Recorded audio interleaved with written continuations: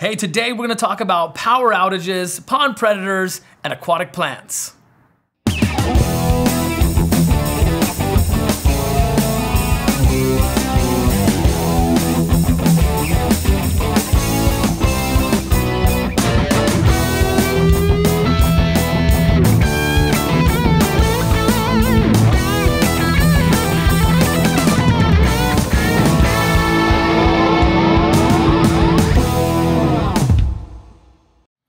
So I just got back from Northern California. We went on a little business trip up there, and uh, I want to tell you a couple of stories. Uh, first of all, I visited a couple people, I visited a pawn store, but before I was on my way home, I was sitting in the hotel and I was trying to catch up on emails and questions and so forth, and I get this email from a Bao Tran. And I watched the email pop up. I checked it out. He was upset because he thought his pond wasn't functioning right. He think he made mistakes, and uh, he's not sure what to do about it. And he gives me a brief description, and it was it was pretty short. So I sent him an email immediately, and I said, "Where are you located?" I had no idea where in the world he might be, and he sends me back an email immediately. It's almost like we were texting, but via email on the computer. He says, "I'm in San Jose," and I text I, I emailed him back, "I'm in Fremont."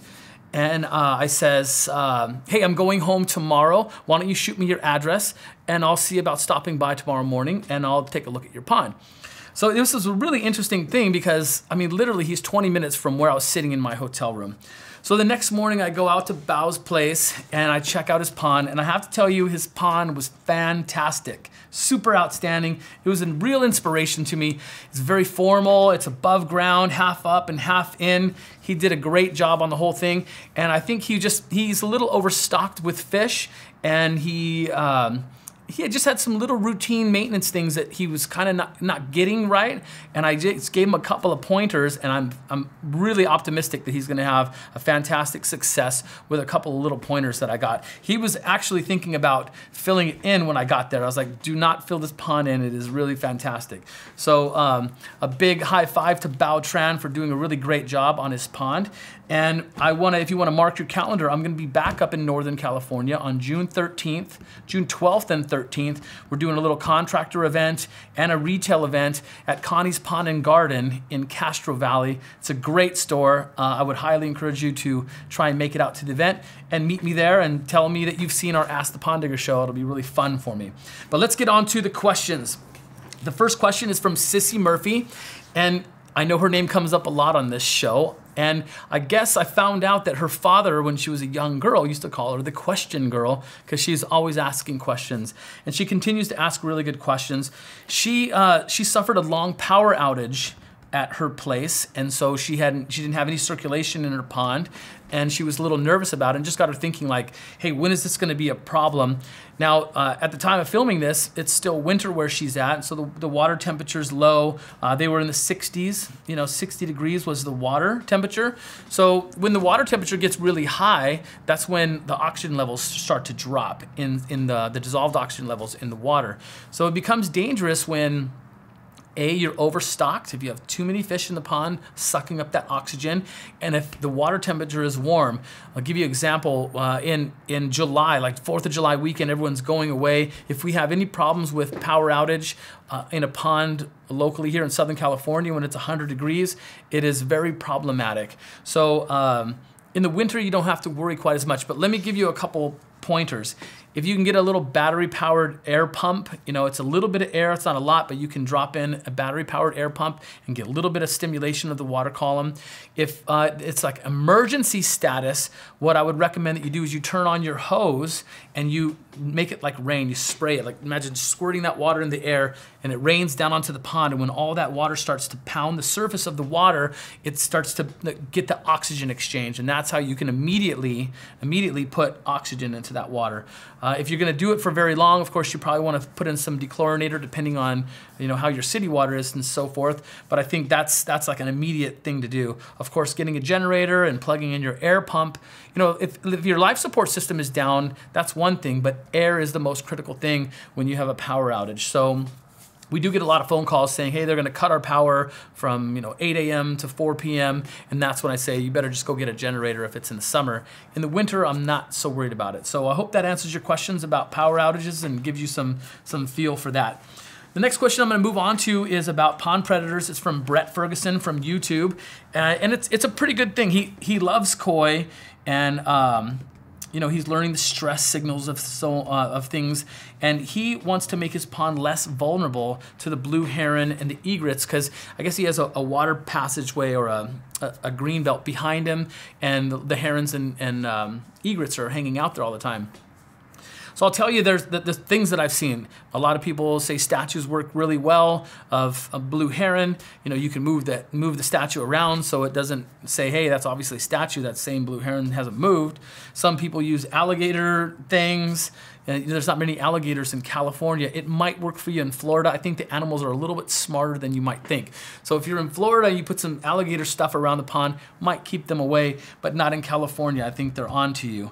Um, I know, I remember this one time, there was a kind of a courtyard and he was having a problem with herons and he strung piano wire up pretty high in like this crosshatch pattern and you didn't really see it because the way that the yard was designed and there's a lot of trees and so forth but that piano wire that he stretched really tight around there kept the birds from come, coming in. You see if, if you have a cover over the pond the bird when the bird might land over here and walk under the cover, but as soon as you come up on them, they're very scared, so they want to take off and go straight up. So they're they're they're not likely to hang out under a cover because they don't they can't just take off. If, if you have no cover, then they can just swoop right away. So a cover is really good. There's a motion sensor sprinkler device called a Scarecrow, and they work really well. Uh, the biggest problem I see with scarecrows is you got to change the batteries, you got to stay on top of that. And if the pond's very big, you might need two or three scarecrows to manage the pond. I do have a pond on our service route that is about, oh, it's probably 30 feet long, and we have three scarecrows on there positioned at different areas. So if the bird comes in, it'll it'll blast him with a, a blast of, of water probably the best thing I can advise you on is if you have a dog. If you have a dog that patrols the backyard, then the bird's really not going to hang out. And I know that's not for everyone, but that's probably the best thing you can do. Or maybe the best thing you can do is a combination of all the things. Maybe some piano wire, maybe some kind of cover, have the motion sensor, and have a dog, and then you're you're probably pretty good. Of course, um, the blue heron specifically, they are professionals at catching ugly brown fish in dirty green water. So when you have a beautiful crystal clear pond with these amazing colorful fish, they are subject. So you should um, take some of these things and work them into your plan to protect your pond from pond predators. We're gonna move on to the final question. It is from Ricardo Lamelai. I think I said that right. And he wants to know what's the best aquatic plants that he can use in his bog filter to remove nitrates in the pond. So what I wanna tell you is, we want aquatic plants that grow very fast. Rapid growth is what is going to consume those nitrates. If they're growing fast, that means they're pulling nutrients from the pond. So think along those lines.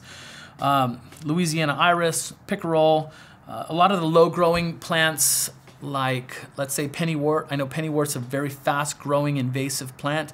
You don't want it to get into your lawn, you don't want it to get into your garden on the outside, but if you have it controlled in a bog filter where it can grow very fast and you can thin it out as it starts to take over in certain areas very easily, it's a fantastic plant for consuming nitrates in a bog filter. So as I said, pennywort, parrot's feather, and things like that. One plant that I think is, is highly underused even by my, my own self, my own company, we don't use this plant enough, is the lotus. Now, lotus is a fantastic plant for consuming nutrients in a pond. And I'm gonna pause there while I talk about lotus because I cannot talk about lotus without thinking about a very good friend of mine, Kelly Billing. She's out of Maryland, and I just opened this last night. I wanna show you this cool little gift she sent me. This is, these are lotus uh, petals, petals or leaves, I should say and they've expired and so she cut them out and made this beautiful pattern with it and she's colored them and they're on canvas. So I'll be hanging this on my wall. I think it's really a great gift. Thank you very much for that Kelly. And um, I want to tell you something else about Kelly. We're gonna have her a guest on one of our tutorial series this summer. So we're super excited about that. I'm gonna tell you what we're gonna do. We're bringing her out there to, to show you her qualifications. She's co-author of a book. She's been doing, specializing in Lotus as long as I've been in the business. I mean, she's really dedicated to this. She even has uh, her, her company is, is called after the genus uh, Nelumbo. I think that's how you say it, if, if I remember right. That's the genus of, of the lotus and uh, so her, her company is called that, AKA The Lotus. And so we're bringing her out here to Southern California, and we're gonna film some different types of ways that you can introduce um, lotus, uh, lotus bogs to an existing pond. We're gonna do a specialty tutorial video on you know how to do a bog garden or just maybe only a lotus bog. And we're gonna go step by step and show you the tutorial. And it's really fun for me because she's gonna come out there and it's gonna help me grow my, my lotus knowledge and I'm super excited about that. So I'm gonna end today with the question of the day for you guys on what do you want to learn about the lotus from Kelly? She's going to be here in a couple short months. And if you put down your questions about Lotus into the YouTube comments section down below, we'll do the best to compile them all and work very hard to make sure we answer the questions in that tutorial cities, in the, in the tutorial videos, okay? So that's it for today, and uh, we'll see you again real soon. Thanks for watching.